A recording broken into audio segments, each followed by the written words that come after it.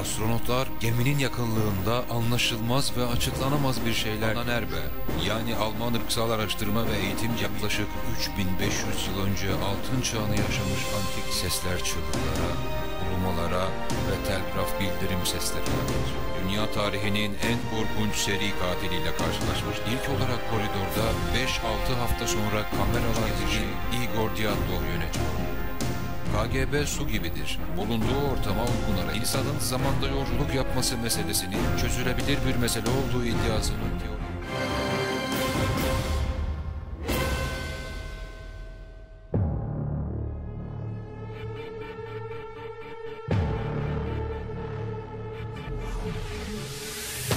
Dünyada paranormal olguların en yoğun yaşandığı yer. Uzmanların tabiriyle doğaüstü fenomenlerin merkez üssü. Skinwalker çiftliğinde neler oluyor? Pentagon'un özel bütçe ayırarak araştırdığı yüzlerce yıllık gizem. Boyut kapıları. Tanımlanamayan devasa canlılar. Nedensiz yere ölen çiftlik hayvanları. UFO'lar ve garip ışımalar.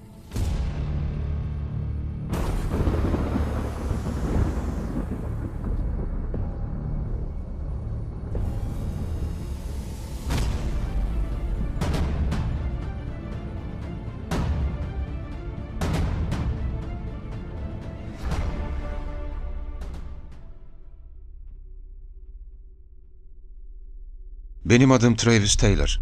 Uzay mühendisiyim. Ayrıca havacılık ve astrofizik alanlarında optik uzmanıyım. 30 seneye yakındır NASA ve CIA'in gizli projeleri üzerinde çalıştım. Bir süre önce bilim insanlarından oluşan bir ekiple beraber Skinwalker adlı bir yeri incelemeye gittik. Araştırmakla görevlendirildiğim çiftliğin uzun yıllardır UFO olaylarıyla ilişkili olduğunu biliyordum. Büyükbaş hayvanların açıklanamayan ölümleri ve bazı çılgınca şeylerin yaşandığını da duymuştum. Ön yargılı biri olmasam da yol boyunca bu bölgede olup bitenlerle ilgili kuşku hissediyordum. Ancak vardıktan kısa süre sonra anladım ki karşılaşacağım şeylere hiç hazır değilmişim. Hiçbir şey insanı böyle bir şeye hazırlayamazdı. Uzay mühendisi ve optik uzmanı Travis Taylor'ın History Channel için hazırlanan çalışmada anlattıkları bu sözlerle başlıyor. Bahsettiği çiftlik, Birleşik Devletler Utah eyaletinin kuzeyinde yer almaktadır. Skinwalker çiftliği, dünyada bilimsel olarak en ciddi şekilde araştırılmış paranormal bölgedir ve 2008'den 2013'e kadar Pentagon tarafından finanse edilen gizli bir program kapsamında da incelenmiştir. Paranormal araştırmacılarına göre burası dünyadaki paranormal ve UFO olaylarının merkez üssüdür. Skinwalker çiftliği hakkında birkaç sinema filmi ve televizyon programı yapıldı. Çok sayıda kitap yazıldı. İnsanlar arasında bu ürkütücü yer hakkında yüzlerce hikaye var ve bunlardan hangisinin gerçek, hangisinin kurgu olduğunu ayırt etmek zor. Basında 1996 yılında bu garip yerle ilgili ilk yayınlar ortaya çıktı. Ancak birçok görgü tanığı burada çok daha öncesinden de garip şeylerle karşılaştığını anlatmıştı. Bu sırt artık tüm dünyada takma adıyla Skinwalker çiftliği olarak bilinen pitoresk bir mülke bakmaktadır. Bazı insanlar burayı doğaüstü olarak adlandırır. Diğerleri bunun lanet olduğunu düşünür. 1996'da o zamanlar çiftliğin sahipleri olan Terry ve Gwen Sherman çifti, Desert News'a kendi topraklarındaki üç farklı UFO türünden, öldürülmüş veya sakatlanmış sığırlardan ve dahası açıklamakta zorlandıkları sayısız olaydan bahsettiler. Ölen sığırlardan birinin göz küresinin ortasında alışılmadık bir delik vardı. Ama bunun dışında sağlamdı. Kan izi yoktu. Yıllar sonra Taylor burada yaptığı çalışmaları sırasında çiftliğin üzerinde herhangi elektromanyetik bir anomalinin olup olmadığını anlamak için gökyüzüne bir araç fırlatmışlardı. O sırada ineklerin bir şeylerden dolayı paniklediği gözlemlendi.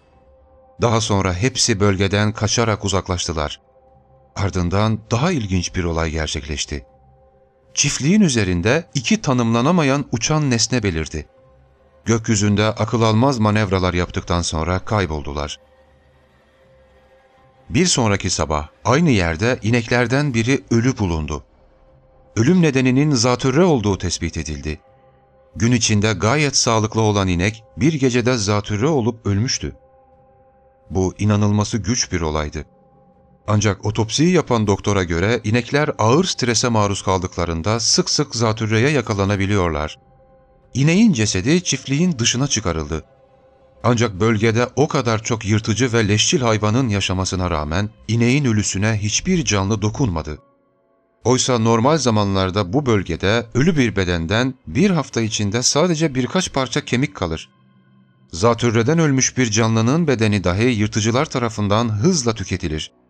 Ancak bu bedenin üzerinde tek bir larva, tek bir sinek, tek bir canlı yoktu. Bu olayın hiçbir mantıklı açıklaması olamazdı.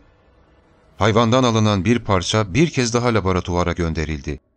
Uzun zaman önce öldüğü için tam ölüm nedeni belirlenemedi. Ancak bilim insanları yırtıcıların ölü bedene yalnızca bir nedenle yaklaşmayacaklarını biliyorlardı. Eğer beden zehirlenmişse. Bu nedenle de hayvanda başta siyanür olmak üzere herhangi ölümcül zehir bulguları arandı. Fakat nafile. Hayvan zehirlenmemişti. Taylor burada araştırmalar yürütürken bir keresinde tuhaf seslerin duyulduğu yapılardan birinin sıkıca kapatılmış bodrumuna kamera sokarak izlemeye aldırttı. İçeride hangi canlıya ait olduğu anlaşılmayan kemikler olduğu ortaya çıktı. Bölge şerif yardımcısı Chris Porritt, bu çiftliğin Sherman'lerden önceki sahipleri olan Kenneth ve Edith Myers çiftiyle de tanışıyordu. Porritt'e göre bir gün Myers'lerin evindeki her şeyin zincirlendiğini fark etmiştir. Buzdolabının, vitrinin ve hatta arabasının bile. Kenneth'a bunun nedenini sorduğunda Kenneth ona bu konudan kimseye bahsetmemesi kaydıyla durumu açıklamaya çalışmıştır. Burayı uzaylılar ziyaret etti Chris. Durmadan çiftlikten eşyalarımızı çalıyor, hayvanlarımızı öldürüyorlar. Ben onları hiç görmedim ama geldiklerinde varlıklarını hissedebiliyorum. Neden benim çiftliğimi seçtiklerini, benden ne istediklerini bilmiyorum. Görünüşe göre evime de girmiş, pencerelerimin camlarını sökmüşler. Kenneth geceleri de garip sesler duyduğunu ve günün her saatinde bir şeyler ya da birileri tarafından izlendiğini hissettiğini anlatıyordu. Yine Polit'e göre Kenneth bir gün üç ineğini kaybetmişti. Gün boyu her yeri aramasına rağmen onları bulamamış ve bu konudan şerif yardımcısına da bahsetmişti. Hayvanları birlikte ararken civardaki ambarlardan birinin de içine bakmak istediler ancak kapıyı açamadılar. Uzun süre uğraştıktan sonra kapı birazcık aralandı. Şerif içeri baktığında ineklerin orada olduklarını gördü. Ancak Kenneth buna inanmak istemiyordu. Ambar üç ineğin birlikte sığamayacağı kadar küçüktü. Polit'in verdiği cevap çok daha inanılmazdı. İnekler yan yana değil, üçü de üst üste yatıyorlar. Hayvanların ağızlarından burunlarından salyalar akıyordu. Henüz yaşıyorlardı. Kuyudan su getirerek kafalarını ıslattılar ve biraz da içirdiler. Hayvanlar kendilerine geldiler ve kısa sürede iyileştiler. Daha sonra başka iki ineğin cesetleri bulundu. Her iki hayvanın tüm iç organları çıkarılmıştı. Bu hayvanın hiçbir yeri kesilmeden yapılmıştı. Ayrıca etrafta hiç kan izi yoktu. Diğer tuhaf görüntüler 1970 yılında federal hükümetin emriyle tatlı suyla doldurulmuş insan yapımı bir rezervuar olan Battle Hollow'un hemen yan tarafında gerçekleşti. 1998'de bir polis memuru büyük bir ışığın suyun içine düştüğünü gördü. Işık sonra yeniden belirdi ve gece gökyüzüne uçtu. 2002'de bir gece rezervuarın kıyısında duran dört genç mavi ve beyaz bir topun göle girdiğini gördü. Kurt Adam Avı kitabına göre parlayan top kıyıdan sadece birkaç metre uzakta suya daldı ve birkaç saniye sonra yeni bir biçimde yeniden ortaya çıktı. Parıldayan, manevra kabiliyetine sahip kemer şeklinde bir ışık hüzmesi. Battle Hollow'un etrafındaki doğaüstü görüntüler Utah inancı bağlamında anlamlıdır. Yerlilere göre uçurumun kenarındaki kaynaklar ve bazı su yolları negatif güç depolarıydı. Sudan çıkan ve sizi içine çeken kötü ruhlar vardı. Joseph Junior Hicks bu bölge üzerinde en uzun incelemeler yapmış araştırmacılardan biridir. Bu adam Skinwalker çiftliğinin tüm tarihi boyunca en çok olayı kaydetmiş ve dosyalamış insandır. Hicks'in dosyasında yer alan tanıklıklardan biri Roland McCook adlı bir bölge sakiniyle ilgilidir.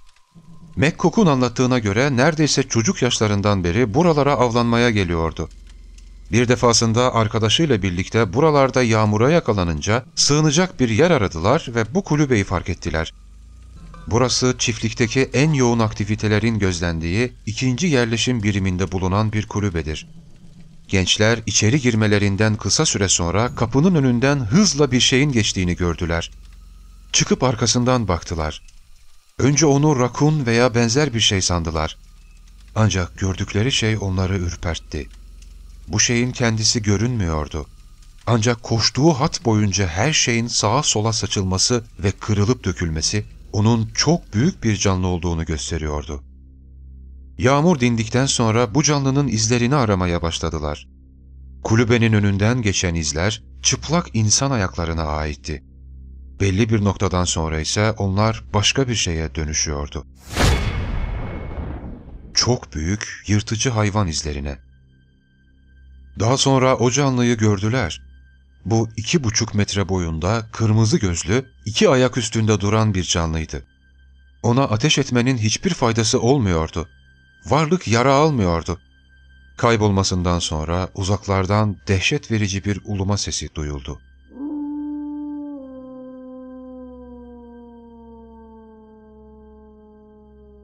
McCook yıllar önce yaşadığı bu olayın sarsıntısını hala üzerinden atabilmiş değil ve anlatırken fenalaşıyor.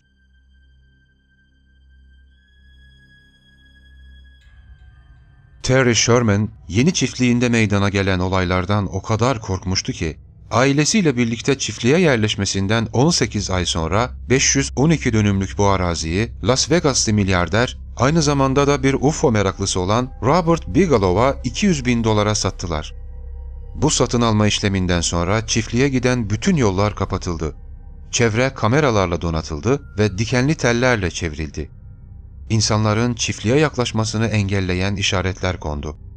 Bigelow bölgede kendi araştırmalarını başlattı. Kendi ismini taşıyan Ulusal Keşif Bilimi Enstitüsü adı altında paranormal olayları çözmeyi umarak çiftliğin 24 saat gözetimini organize ettirdi.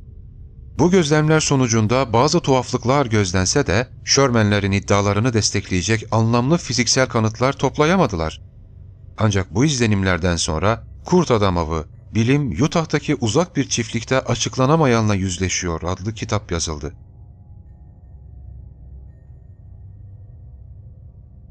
Sherman'ler yalan söylüyor olabilirler miydi? Yoksa bir dönem toplu bir halüsinasyonun yani yanılsamanın etkisi altına mı girmişlerdi? Kanıt olmadan anlattıkları hikayelere inanmak zor. Fakat benzer vakalar bu bölgede çok yoğun bir şekilde ihbar edilmektedir. Doğu Utah'taki Uinta Havzası uzun yıllardır öyle bir paranormal aktivite yatağı olmuştur ki bazı uzaylı meraklıları onu UFO yolu olarak addetmişlerdir. Yerel film yapımcısı Trent Harris, Desert News'a verdiği röportajında Güney Utah'ta taş atsanız UFO mağduruna değiyor demişti. Bugün Skinwalker çiftliği, Utah'taki kabilelerin Uinta ve Urey Kızılderili koruma alanına bitişiktir. Acaba Sherman'ler bu bölgede yerli Amerikalıların yüzyıllar önce şahit oldukları şeyleri mi görmüşlerdi? Ancak Sherman'lerin çiftlikte gözlemledikleri tek anormallik gökyüzünde uçan UFO'lar değildi. Onlar gizemli devasa hayvanlarla da karşılaştıklarını anlatmışlardı.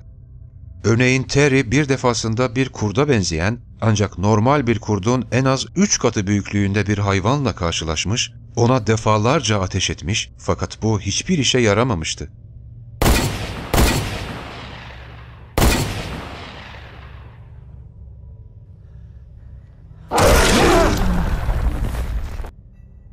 12 Mart 1997 gecesi yani çiftlik satıldıktan sonra Bigelow Ulusal Keşif Enstitüsü ile çalışan biyokimyacı Colm Kelleher, araştırma ekibini bir ağaçtan gözetleyen büyük bir insansı yaratık gördüğünü iddia etti. Kurt Adam avında detaylandırıldığı gibi yaratık yaklaşık 50 metre uzaktaydı ve takımı yerden 20 metre yükseklikteki bir ağaçtan güvenli bir şekilde izliyordu. Işığa bakan gözleri keskin sarı ışık saçıyordu. Kelleher tüfekle ateş ettikten sonra varlık kayboldu. Ardından karın üzerinde bir iz gördüm. Bu 15 santimetre çapında alışılmadık bir izdi. Arkadan çıkıntısı olan iki keskin pençeyle tek bir büyük ayak izi. Kar üzerinde birkaç inç derine inmişti. Neredeyse yırtıcı bir kuşa benziyordu. Belki de bir kertenkele iziydi.'' Ancak çapına ve derinliğine bakılırsa bu çok büyük ve ağır bir canlıya ait olmalıydı. Kelleher ve Knapp'e göre kaybolan, sakat bırakılan, vücutlarında hayvanlar tarafından yapılması imkansız olan kesiklerin bulunduğu sığırlar, tanımlanamayan uçan cisimler veya toplar, yıkıcı manyetik alanlar yayan görünmez nesneler, vuruldukları halde hiç yaralanmayan kırmızı gözlü büyük hayvanlar da dahil olmak üzere yaklaşık 100 olayın kanıtlarını gördüler veya araştırdılar. O dönem karşılaşılan ilginç şeyler arasında bu metalik çekirdekler de vardı. İncelemeler bu metallerin menşeini belirleyemedi. Bu çekirdekleri dünya şartlarında eritmek ya da kesmek hiçbir şekilde mümkün olmadı. Bir tahmine göre bunlar bir uzay gemisine bağlı enerji kaynağı ya da belki de enerji silahında kullanılan mermilerin boş çekirdekleri olabilirdi. Taylor'a göre Bigelow'un araştırmaları sırasında ekibin tarlada metamateryal dedikleri şeyler bulmuşlardı. Metamateryal, içinden geçen ışığın ya da enerjinin özelliklerini değiştiren bir elementtir. Ancak raporların büyük bir bölümü gizliye alındı. Dahası bu çekirdeklerin şu an nerede olduğu bilinmiyor. Kimilerine göre Bigelow onları yanına aldı ve sakladı. Kimilerine göre ise onlar çiftlikte bir yerlere saklandı. Çiftlik sahibi ve komşuları araştırma ekibine çiftliğin içinde ve çevresinde beliren gölge insanların bir dizi garip hareketlerini, fiziksel nesnelerin kendi başlarına hareket ettiği poltergeist olayları, devasa kurtlar ve kar adamları da dahil olmak üzere garip hayvanlar hakkında, ayrıca doğada ve gökyüzünde oluşan tuhaf deliklerle ilgili bilgiler verdi. Bu adamın adı John Alexander ordu istihbaratından albay olarak emekli oldu. Ancak hala Savunma Bakanlığı'nda danışman olarak çalışmaya devam ediyor. Doktorasını aldıktan sonra Alexander, ABD ordusunun psişik araştırma programına doğrudan katıldı ve ardından NIDS'in ilk çalışanlarından biri oldu.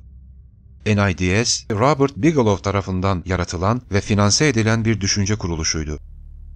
Research gazetesinde çiftlikteki UFO etkinliği hakkında bir makale okuduktan sonra Bigelow Utah'a uçtu, gayrimenkulü satın aldı, çiftliği ve havuzu incelemek için profesyonellerden oluşan bir ekip görevlendirdi. John Alexander anlatıyor. Gözlemci olarak şahit olduğumuz en tuhaf olaylardan birini bir akşam ikinci yerleşim birimi yakınlarındaki dağlık bölgedeyken yaşadık. Bu durmadan genişleyen bir parlak noktaydı. Bir süre sonra bu ışığın içinden iki metre boyunda bir şey çıktı. Siz bu bölge yollarının ne kadar çamurlu olduğunu biliyorsunuz. O şey çamurlu bir yoldan inanılmaz bir hızla ve hiç yerde iz bırakmadan koşarak uzaklaştı. Daha sonra tanımlayamadığımız bir canlıya ait izlerle karşılaştık. O sabah kar yağmıştı. Karın üzerinde dev bir sürüngene aitmiş gibi görünen izler vardı. Üç parmaklı kocaman izler. Tıpkı Jurassic Park'taki gibi. Alexander'a göre burada yaşanan gerçekleşen her şey sanki daha üst bir şeyin kontrolü altındadır. Ve o şey her neyse biz sadece onun öğrenmemizi istediği şeyleri öğrenebiliyoruz. Eğer bunu istemezse odaklandığımız obje durmadan dönmeye ve farklı biçimlere dönüşmeye devam ediyor. Albay'a göre bütün bunlar birbiriyle bağlantılıdır ve yaşananların nedeni bu çiftliğin muhtemelen bir boyut kapısı olmasıdır. Yani çok boyutlu gerçeklik.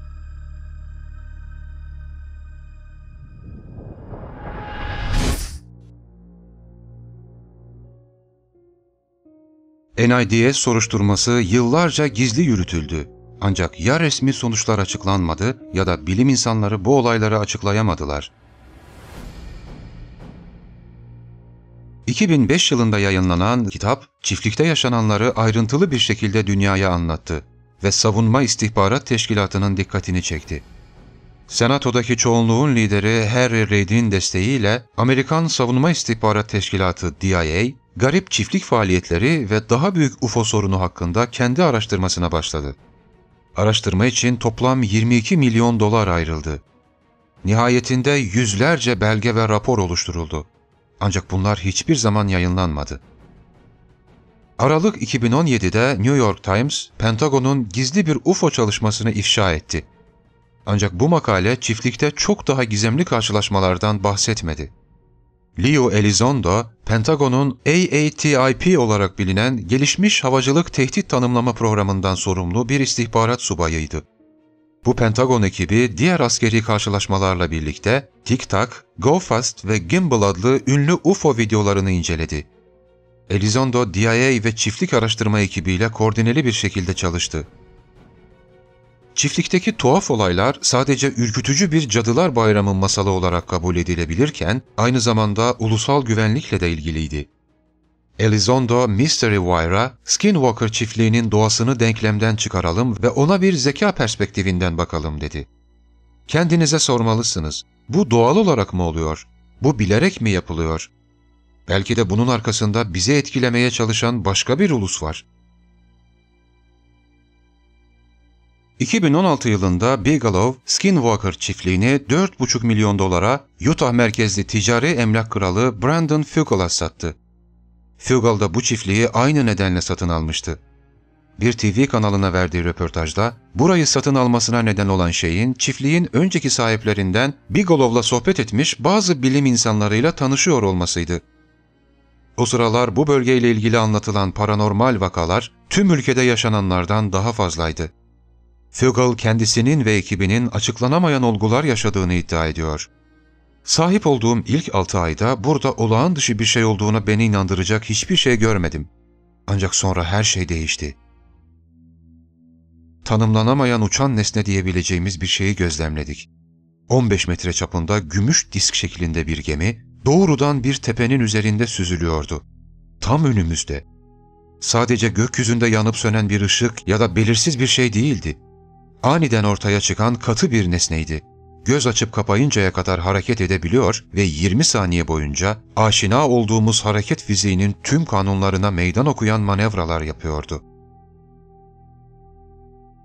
ABD'deki bir TV kanalı tarafından yapılan programda birkaç kişinin anlattıkları yayınlandı. Buna göre çiftliği araştıran, dolaşan ya da orada bir sebeple bulunmuş insanlar geri döndükleri sırada yol boyunca bazı garip olaylar yaşıyorlar. Bu fenomene daha sonra otostopçu efekti ismi verildi. Fugal bölgede gelip gidenlerle etkileşime giren adeta dünya dışı bir gizli servis var diyor. KSL 5 muhabiri Andrew Adams ve fotoğrafçı Megan Thackeray hikaye için röportajlar toplamak ve orada kaldıkları yaklaşık 9 saat boyunca neler olabileceğini görmek için Skinwalker çiftliğine gittiler.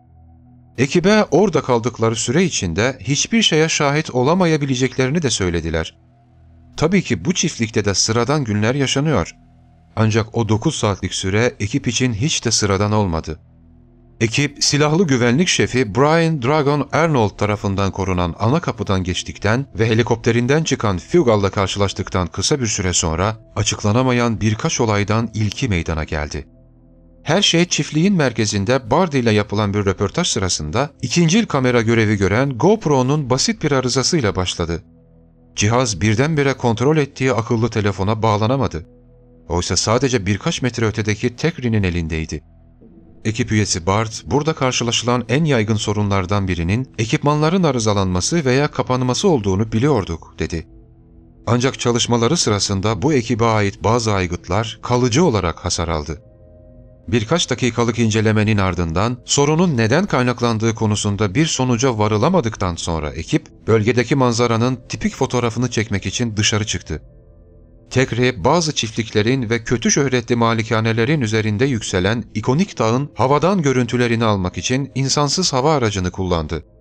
İndikten sonra başka bir gizemli bağlantı sorunu keşfedildi. Kalibrasyon başarısız diyor dedi Tekri. Ardından Fugal'ın ekrandaki uyarısını yüksek sesle okudu. Çok güçlü manyetik parazit algılandı. Yakınlarda mıknatıs veya metal nesne olmadığından emin olun. Fugal'ın helikopteri iniş pistinden çoktan havalanmıştı ve görünürde bir tür manyetik girişim olasılığını akla getiren hiçbir şey yoktu. Bart dışarı çıktığında RF sensörlerinin sürekli yandığını fark etti. Buraya geldiklerinden beri hiç böyle bir şey yaşamamışlardı. Bart, bunu bir radyo alıcısı ölçeğinde bir aralık olarak düşünebiliriz ve orada sanki birkaç istasyon aynı anda gürlüyor gibiydi, diyor. Uinta Nehri havzasındaki kırsal bir alanın ortasında böyle bir şeyi neyin üretmiş olabileceği belli değildi. Bart Tekri, bunun ne olduğunu veya dronunuza olanlarla bir ilgisi olup olmadığını bilmiyorum dedi. Ama bunu çözmek çok ilginç olurdu. Zamanlama kesinlikle anlamlıydı.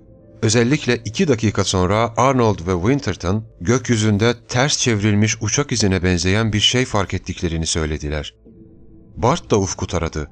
Sonra kameraların ilgi çekici bir şey yakalayıp yakalamadığını görmek için çiftliğin merkezine geri döndü. Kameradan gelen görüntüde gökyüzünde hareket eden bir şey görünüyordu. Ancak rotası muhtemelen bir uçaktan veya kuştan gözlemlenebilecek olandan farklı olarak doğrudan gökyüzüne yükseliyor gibiydi. Bu çiftlik ayrıca alandan geçerken uçak imzalarını algılayan teknolojiyle de donatılmıştır. Ancak hiçbir şey kameranın yakaladığıyla eşleşmedi. Bu anormalliklerden herhangi birinin tamamen doğal açıklamaları olabilir. Ancak hepsinin birlikte zamanlaması çiftliğin eski sahiplerini haklı olarak korkutmuştu. Adams ve Tekri, çiftliğin açıklanamayan faaliyetlerinin çoğunun merkez üssü olan iki nolu malikanenin yakınındaki bölgeyi araştırırken drone bağlantısı ile ilgili başka bir sorun ortaya çıktı. Drone'la bağlantı kurulamamaya başladı. Drone ve GoPro sorunlarına ek olarak televizyon ekibi ayrıca pillerin alıştığından çok daha hızlı boşalmasını yaşadı. Bart bunun çiftlikte yaygın olduğunu söylüyor. Arnold'a göre film ekibi bölgede başka bir yerde çekim yaparken bir sülün başka bir sülünü kovalamaya başladı. Ardından biri sert bir şekilde ön kapıya çarparak boynunu kırdı ve öldü. Güvenlik kamerası bu anı kaydetti.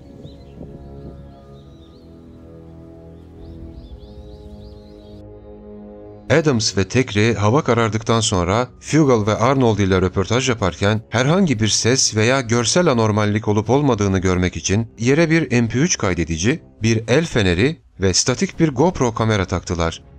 Gece vakti rüzgarın kopmasıyla birlikte yerden gökyüzüne fırlıyor gibi görünen küçük bir ateş topu görüntüsü kaydedildi. Fugal'ın bildiği kadarıyla toprakta böyle bir olayı açıklayacak kimyasal olarak aktif hiçbir şey yoktu. Bu olay History Channel programının bir bölümünün kaydı sırasında geçici yüksek radyasyon seviyelerinin tespit edildiği yerden birkaç metre uzaktaydı. Winterton ne olduğunu tarif edemem ama burada Skinwalker çiftliğinde garip bir şeyler olduğunu güvenle söyleyebilirim dedi. Fugal, bilim adamlarından oluşan ekibinin sonunda gizemli fenomenlere neyin sebep olduğu sorusuna cevap bulabileceğini umuyordu.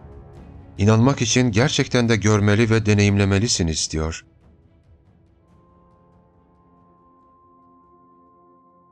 Stephen Wall, çiftliğin eski sahipleri olan Sherman'ların yeğenidir. Çocukken burada zaman geçiren Stephen, çiftlik tarihindeki en karanlık olaylardan birine şahit oldu. Anlattığına göre bir akşam vakti amcasıyla birlikteyken çok alçaktan uçan mavi renkli bir küre gördüler. Bölgedeki köpekler bu sıra dışı şeye havlamaya başladılar. Ancak bir süre sonra sesleri kesildi. Köpeklerin yanına geldiklerinde beş köpeğin bir şey tarafından ezilerek öldürüldüğünü gördüler. Köpekleri ezen şey her neyse daire şeklindeydi. Köpeklerin cesetleri bu dairenin ortasında yatıyorlardı. Çemberin etrafı ise yanıyordu. Daha sonra Wall gökyüzünde bir portal açıldığını içinden turuncu renkte bir kürenin bölge üzerinde uçtuğunu, ardından bir noktada durarak adeta bir şeyleri gözlemlediğini görmüştü. Tanımlanamayan parlak küre daha sonra hızla göğe yükselmiş, çıktığı portaldan tekrar içeri girmiş ve portal kapanmıştır.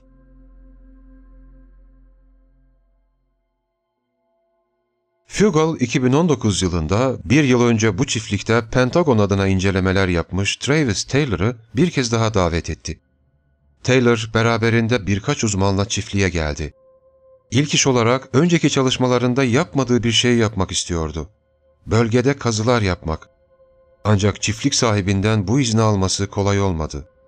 Çünkü efsane burada toprağa kürek vurmayı yasaklıyor, bunu yapanların çok büyük belalara duçar olacağı konusunda uyarıyordu. Bu arada bölgenin altında olanlarla ilgili de çeşitli söylentiler var. antik zamanlardan kalma meteorlar, dünya dışı uygarlıklara ait gemiler, yeraltı gizli üsler vesaire. Taylor önceki çalışmasında bu bölgenin altının jeoradarlarla tarandığını ve ilginç şeyler görüldüğünü anlatır. Mesela iki buçuk metre derinlikte kubbe şeklinde bir nesne tespit edilmiş.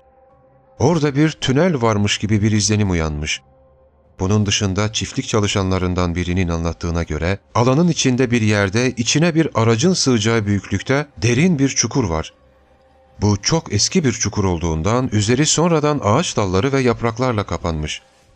Görevli bir ara bu kuyunun derinliğini ölçmek için içine su doldurmuş.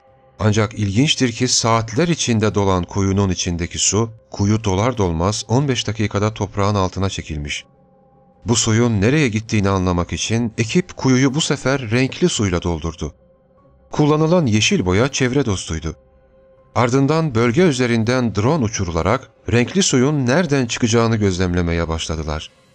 Eğer su başka bir yerden çıkmazsa kuyunun alt kısmında ne olduğunun öğrenilmesi gerekecekti. Bölge oldukça nemlidir. Çok yerde su birikintileri ve küçük bataklıklar var. Bu nedenle de su herhangi bir yerden çıkabilirdi. Kuyuya toplam 170 bin litre su doldurulmuştu. Ancak kısa sürede suyun %20'si çekilmişti bile. Civardaki deliklerden birinin içinde su fark edildi. Ancak kontrol sonrası suyun boyasız olduğu anlaşıldı. Bölgede yeşil su sızıntısı gözlemlenmedi. Drone'un keskin gözleri de hiçbir şey yakalayamadı. 170 bin litre su kısa sürede akıp gitmişti.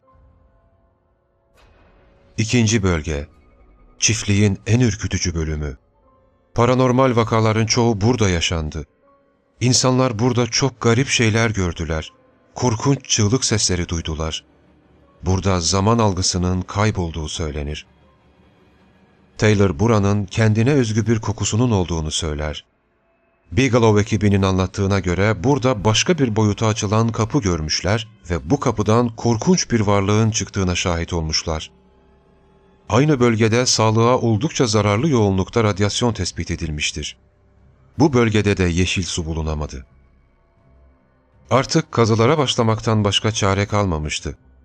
Ancak çiftliğin sahibi Fugel bunu hiç istemiyordu. Ona göre burada yaşanan tüm karanlık olayların nedeni zaten bölgede yapılan bu inşaat ve kazılardı. Sonunda Brandon Fugel çok dikkatli olmaları kaydıyla çiftliği kazmalarına izin verdi. Bölgeye mini kazı makinesi getirildi. Öncelikle kuyunun ağzındaki çöpler kaldırıldı. Bir süre sonra beklenmedik bir şey yaşandı. Önce aygıtlar radyasyonun yükseldiğini göstermeye başladılar. Ardından akıllı telefonlar bozulmaya başladı. Kuyunun dibini gözlemlerken bir şok edici gerçekle daha karşılaştılar. Bölgenin kirli olmasına rağmen kuyunun dibinde hiç su kalmamıştı.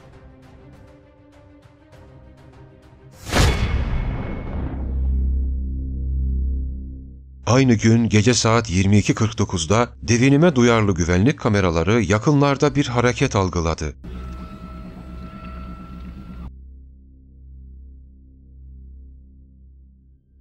Ardından ekip üyeleri bir çıtırtı duydular.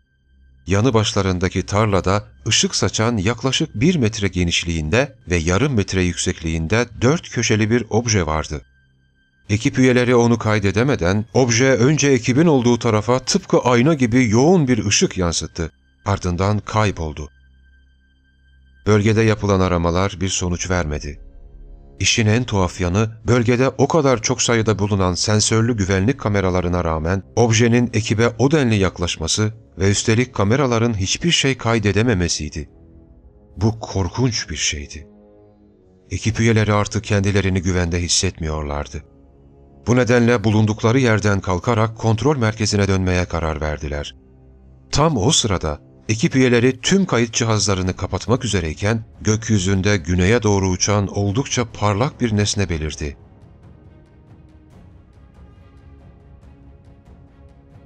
Bu sırada çok kısa da olsa bir kayıt almayı başardılar. İşte gördükleri o şey. Bunun bir kuyruklu yıldız veya meteor olduğu düşünülebilirdi.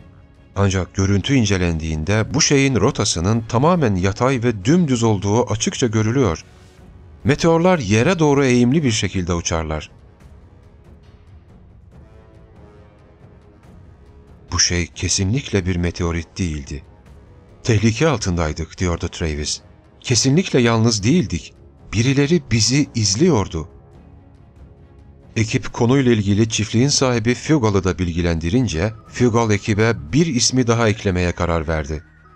Ryan Skinner, bölgeyi en uzun süre incelemiş insanlardan biridir. İncelemeleri sırasında en fazla paranormal vakayla karşılaşmış insanların da başında gelir. En son uçan parlak bir daire tarafından düpedüz saldırıya uğramasından sonra bölgeden kaçmıştı. Ancak 2000 karşılaştığı açıklanamayan şeylerle ilgili yardımcı olmak istiyordu.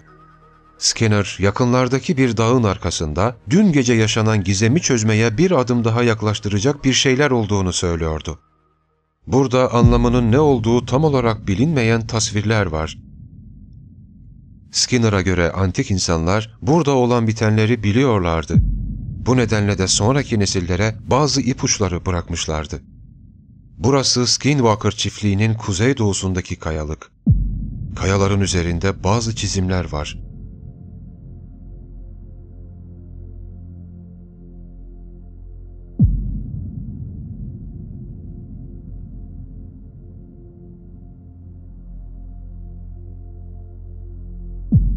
Taylor'a göre bunlardan biri kesinlikle büyük ayı takım yıldızının tasviriydi.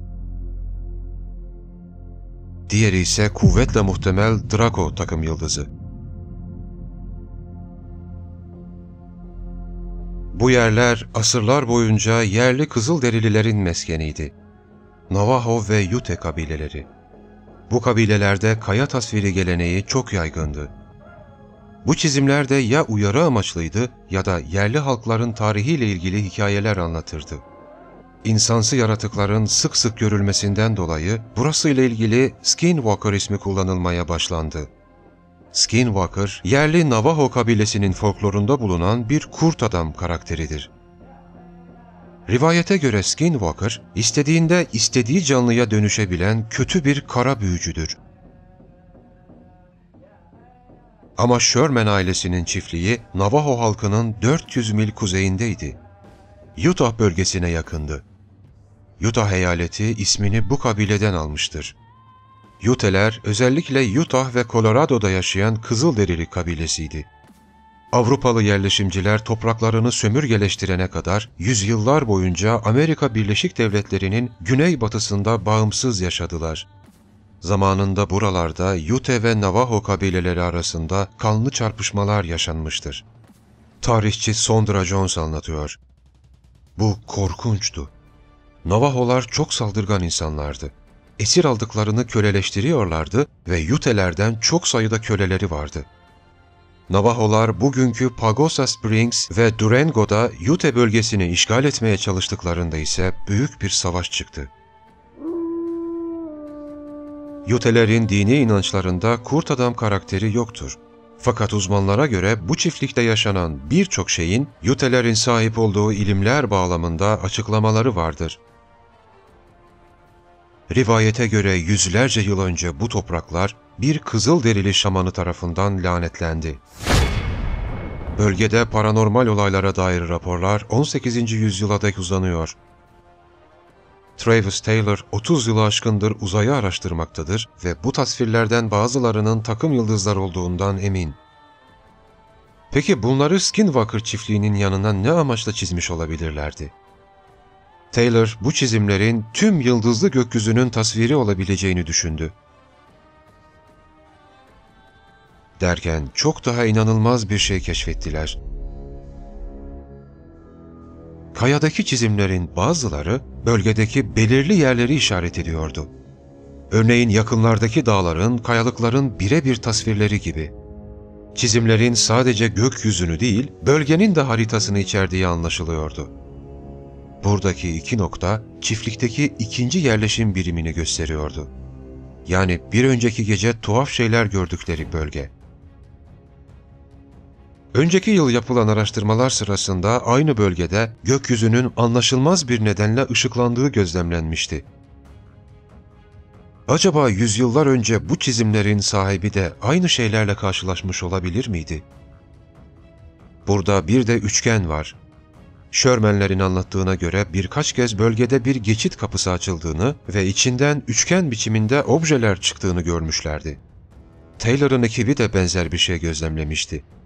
Evet bu bir üçgen değildi ancak tıpkı anlatımlarda geçtiği gibi ışık saçan bir geçit gibiydi.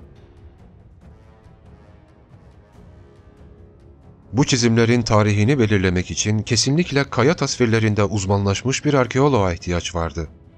Arkeolog Alan Philip Garfinkel da çalışmalara dahil edildi.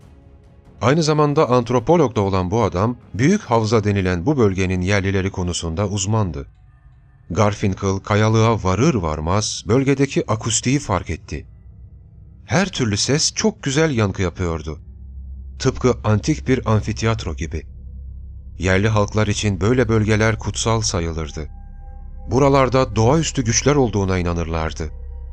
Arkeoakustik adlı bir alan tam da bu gibi yerlerle ilgilenir. Garfinkel daha ziyade yılana benzeyen tasvirle ilgilendi. Kökenleri Azteklere dayanan Utah Azteklerde yılan önemli bir metafordur. Hayat ve ölüm döngüsünü simgeler. Yılanlar iki ayrı dünyayı da temsil ederler ve ayrıca geçit kapılarının muhafızlarıdırlar. Doğaüstü dünyalara açılan kapıların. Yani arkeoloğa göre yerliler bu kayalara gördükleri, düşündükleri veya inandıkları şeyleri çizmişlerdi. Hem de tüm ayrıntılarıyla birlikte.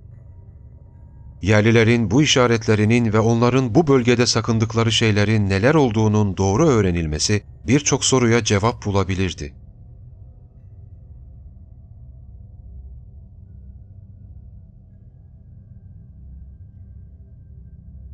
Varsayıma göre dünyada bazı yerlerde boyutların kesiştiği noktalar var ve bu tür yerlerde akıl almaz manzaralar, olgular ve canlılarla karşılaşılabilir. Yani bu çiftlikte periyodik olarak başka boyutlara açılıp kapanan bir portal yani kapıdır. Yıldız Geçitleri, Mit ve Bilim adlı çalışmamızda bu geçitlerden bahsetmiştik. İzlemeyenlerin o videomuza göz atmalarını öneriyoruz. Taylor'a göre eğer gerçekten de bölgede yıldız geçidi yani bilimsel tanımıyla solucan deliği varsa muhtemelen onun bulunduğu yerde bir takım yer çekimsel anomalilerin de bulunması gerekir. Bu nedenle de bölgenin lazerle taranması durumunda o nokta ışığın kırılmasından, renk değiştirmesinden ya da herhangi başka bir değişime uğramasından tespit edilebilir. Bölgeye çok güçlü lazer aygıtları getirildi. Aktivitenin en yoğun olduğu bölgelerden birine, karşıdaki dağlara doğru yönlendirildi. Kaydedelim ki önceki sene bu dağlara lazer ışını yönlendirildiğinde ışınlar dağda ikiye bölünmüştü.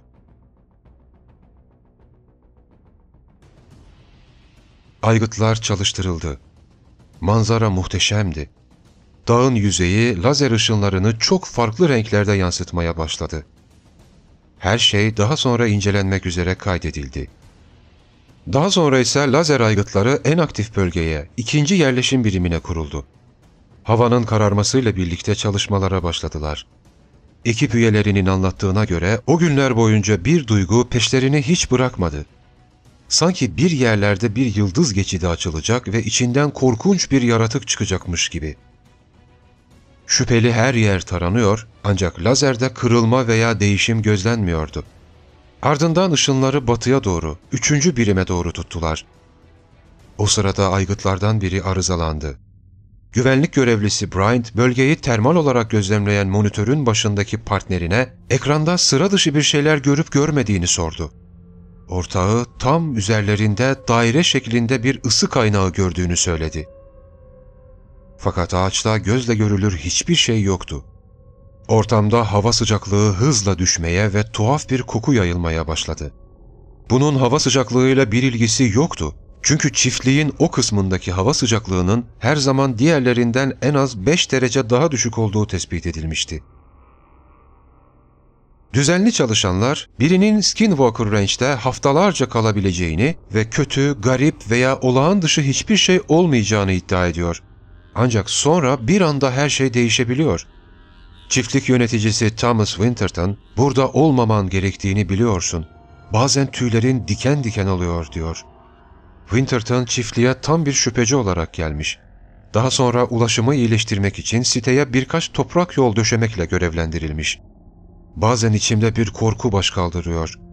Çiftlikten acele çıkmak istediğimde nedense yeterince hızlı olamadığımı hissediyorum. Burada insan duyguları bir fırtınaya yakalanmışçasına sürüklenmeye başlar. Belki de bunların çoğu çiftlik ile eş anlamlı hale gelen gizemli olaylardan kaynaklanıyor. Şüpheci yazar Robert Schaeffer'a göre Skinwalker'daki fenomen neredeyse kesinlikle bir yanılsamadır. NIDS'in Skinwalker'da yaptığı uzun süreli gözlemler bilimsel olarak herhangi bir şeye dair kanıt elde edemedi. Keza mülkün daha önceki sahipleri de öyle. Schaeffer'a göre orada 60 yıl yaşayan ve çiftliğin ilk sahipleri olan Kenneth ve Edith Myers çifti de hiçbir olağan dışılıkla karşılaşmamıştır. Bütün bunlar çiftlik saf Bigelow'a satılmadan önce uydurulmuştur. Çünkü eğer Myers'lerin zamanında garip şeyler olsaydı, büyük olasılıkla neredeyse 60 yıl boyunca orada kalmazlardı. Araştırma ekibi son olarak tüm bölgenin üç boyutlu görüntüsünü almaya karar verdi. Bu bölgede bulunan ancak çıplak gözle görülmeyen bir şeyleri yakalayabilirdi. Alınan görüntüler çok da net değildi. Ancak iki nolu birimdeki o kulübe incelendiğinde üstten görünen bir nesnenin yandan görünmediği fark edildi.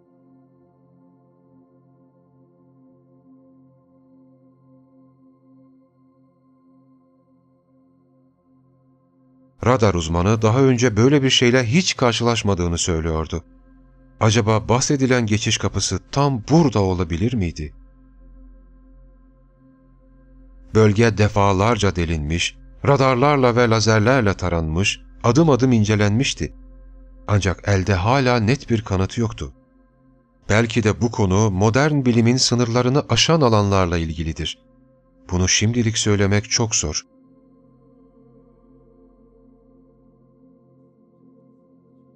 Skinwalker çiftliği konusu güncel bir konudur ve şu anda, şu dakikalarda bölgedeki gözlemler devam etmektedir. Anlaşılan o ki biz bu konunun da takipçisi olmaya devam edeceğiz. Bölgede yapılan kazılar ve sonuçlarıyla ilgili de yakın gelecekte bir podcast ile karşınıza çıkabilirim. Şimdilik eldeki bilgiler sınırlıdır. Söylediğimiz gibi şu ana kadarki çalışmalar bu bölgedeki tuhaflıkların nedenini açıklamaya yetmedi. Ancak bilim insanları ve araştırmacılar bir konuda hemfikirler. Burayı, zamanı, mekanı ve hatta insan bilincini kontrol edebilen oldukça akıllı bir güç yönetiyor. Bu gücün ne olduğu anlaşılmadan olanları açıklamakta mümkün olmayacaktır.